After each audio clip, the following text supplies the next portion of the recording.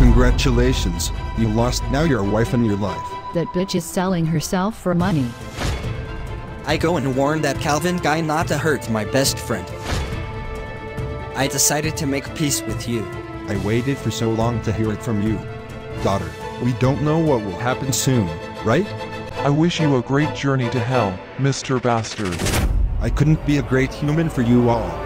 Goodbye, world.